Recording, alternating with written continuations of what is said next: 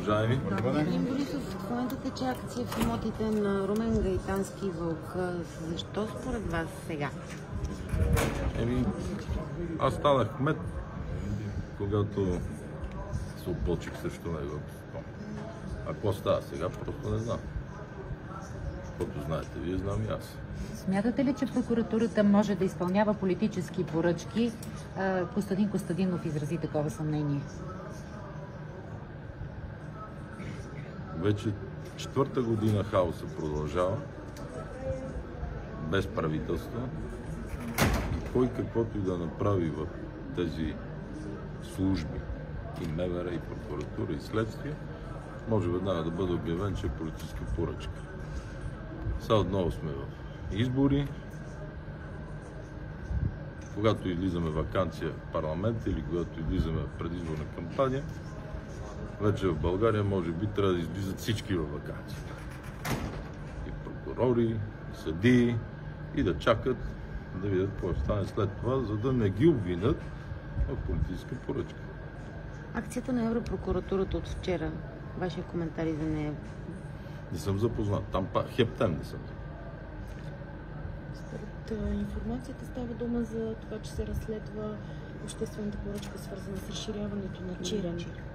Аз мога да говоря само колко е важно разширяването на Чира. Защото последните 4 години нямаме никаква касация по този въпрос, за да ви отговоря, каквото и да е ставало. Когато купувах а, 20% от Александрополис от пристанището, за да стане българска ваша собственост, то пряко беше свързано, че когато идват корабите с течнен газ и се разтоварват, те не могат да останат по тръпите, а трябва да има къде да бъдат съхранени. По памет говоря, ако греша, ще ми извините, тогава беше около 500 милиона кубика чирен.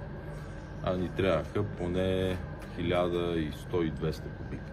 И за тогава взехме решение да разшириме чирен, което да е завършика на процеса. Идва кораба с течнен газ, става на кея, разтоварва на нашето пристанище, 20% собственост, минава по гръцката връзка и пристига в Чирен, където се съхранява и държавата и бизнеса черпат от този газ, докато си черпат.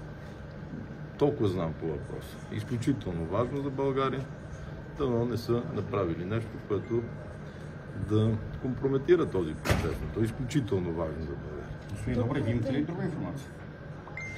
Нека да завършим. Аз ще остава добре. Договорът е Мога ли да помоля? Застани с колегата си и си поговорете, защото той умира да ме прекъсва, умира да прекъсва колегите си, го прави всеки път. Не съм прекъснал сега, извинявам се. Прекъснете ме, господин Добрев, продължете.